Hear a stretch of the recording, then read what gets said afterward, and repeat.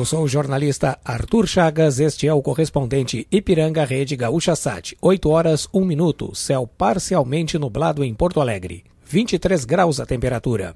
Bom dia.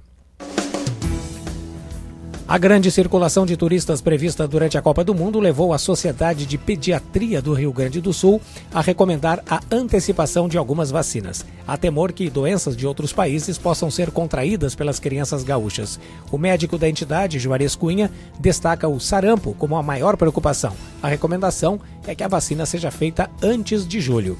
As crianças que não fizeram a segunda dose uh, da vacina e que já tem mais de um ano e três meses, né, que é, faz uma com um ano e a outra com um ano e três.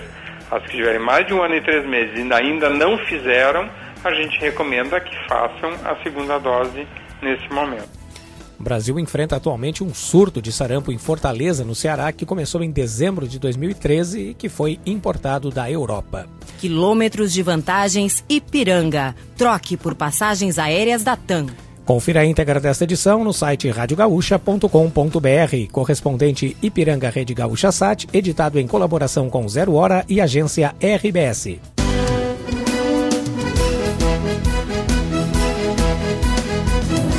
Próxima edição às 12 horas e 50 minutos.